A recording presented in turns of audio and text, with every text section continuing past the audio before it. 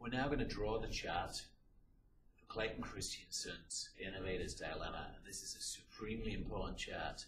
Important enough that I want you to duplicate this chart yourself so you don't just get to take a picture of what I've done. You've got to draw your own and then you take a picture of your own version and submit it. So really the best way to do that would be to take a piece of paper and a pencil and watch this video and draw your own at the same time and then take a picture of the diagram that you draw and submit that picture. So we're going to need two axes. Here they are.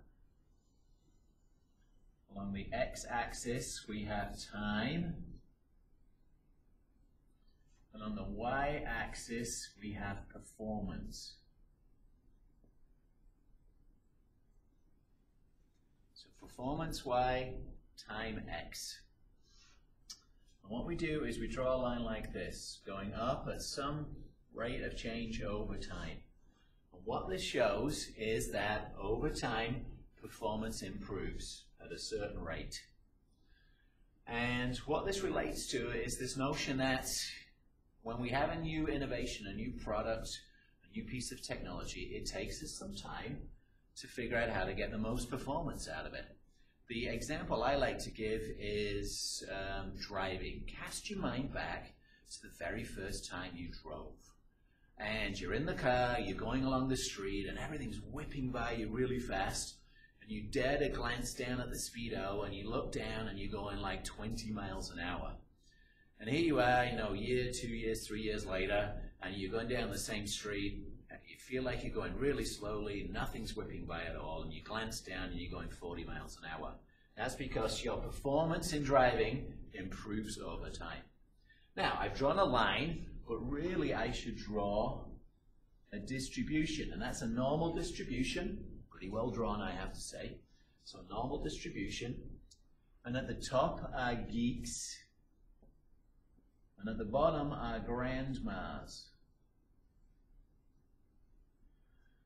And I label geeks, what that means is up at the top end, so this curve would be, this line would be steeper, and it means geeks can extract out of technology more performance over time, whereas grandmas are pretty flatlining, even if you give them a brand new smartphone, they don't do much with it.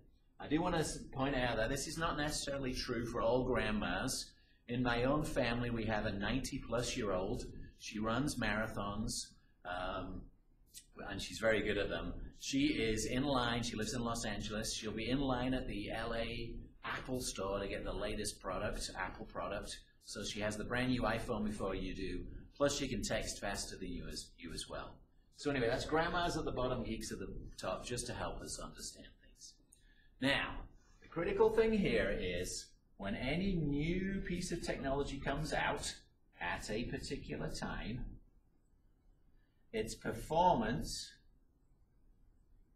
is going to be below what most people can use. The performance of this new piece of technology at a particular time is going to be below the performance that most people can use.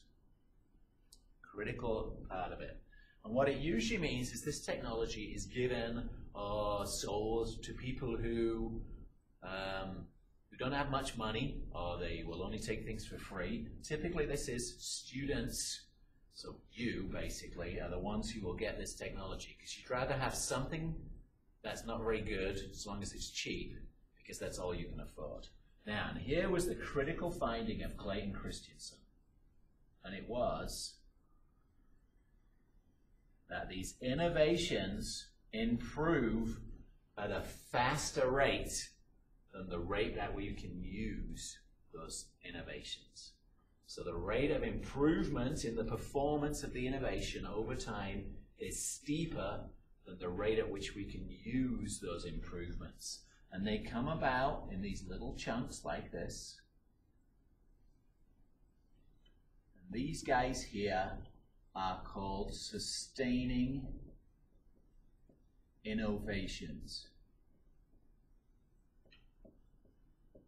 Now, in the video we're going to watch from Clayton Christensen, Charlie Rose kind of backs him into saying technologies here, which is fine, can be sustaining technology or innovations, but in his book, Clayton Christensen talks about innovations. So there it is. Those are called sustaining innovations. And a great example, and one that uh, is given uh, in the book and in the video, is Intel came out with you know processors to put in its computers. And the first Intel processor was called, let's label it 286, because I think it was. The second one was the 386. What do you think the next one is? Yeah, 486. And the next one? Yeah, not a 586, it's a Pentium. And then Pentium, after the Pentium 1, you had Pentium 2, and then Pentium 3, and then, yeah, not a Pentium 4, this would be dual core. Dual core or quad core. Alright, now, here's the important part. Once you, once the innovation, the sustaining innovation crosses this point, which is the point at which most people can use the performance, once you go beyond that, you are providing too much performance for most people. And so let's imagine this is the time here. This gap right here means you are providing more performance than most people can use at this particular time. Anytime you over provide performance, then you are going to be charging people more money than you should be. Another good example is a Porsche 911. Costs about $70,000 new for the base model, and you still get to drive it if you drive uh, lawfully and legally at 60 miles an hour on the road, um, which is the same as my vehicle, which costs nowhere near $60,000, $70,000. So Porsche 911s way overperform, and you pay a lot of money to get that performance, even though you can't, a lot of people can't necessarily use it, and that's what this says. Most people can't use the performance. And indeed, in the video, Clayton Christensen's going to say exactly that. Pentium has over-provided performance in its chips, and we're all paying for that, and so it makes computers too expensive. And so what comes along, nearly always, at a certain time, is something called a disruptive innovation.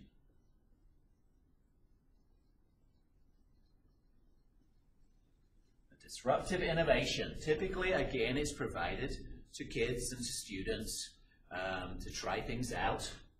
They don't mind having things that are crap as long as they're free or cheap. But check this out, the performance improvements provided by the engineers and people who build that go something like this. It has the same rate of improvement.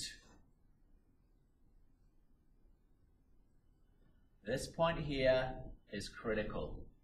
It's the point at which our disruptive innovation can meet the needs of the mainstream marketplace.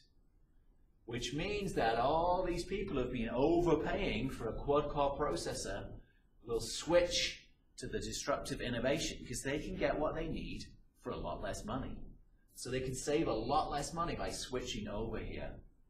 And indeed, Intel was one of the very few companies that disrupted themselves. So they've been developing this right here, and then they developed a Celeron processor. And originally the Celeron was kind of crap, wasn't very useful, but it got better and better and better over time. And pretty soon you can slap a Celeron in pretty much uh, most mainstream laptops, and it will get the job done for almost everything we need to do on a laptop which is, you know, Word and Excel and checking our email and, you know, surfing the web and watching Netflix. So Celeron disrupted Intel's own quad-core business, and that's great for Intel because uh, it stayed in business. Because there are many examples where this disruptive innovation is not the same company as the main innovation. And indeed, this line here is for Intel, but they disrupted a company that was right here and that company was called Digital Equipment Corporation.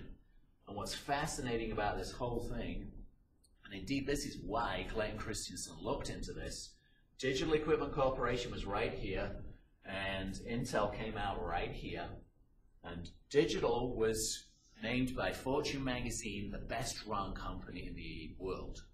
And then two years later, they got absolutely destroyed by Intel. And indeed, have you ever heard of Digital Equipment Corporation? No, because they got taken out, they were disrupted by an innovation made that was disruptive, made by Intel, that took out the core business model, which was right here.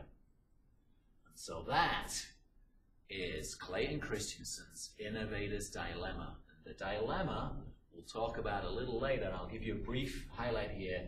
The dilemma is it's really hard to get off this path of being a sustaining innovation because you can make lots and lots and lots of money selling stuff to geeks because they have lots of money to spend. And if you talk to a geek and you ask them what they want, they're not going to say, oh, please give us a crappy slow Celeron processor.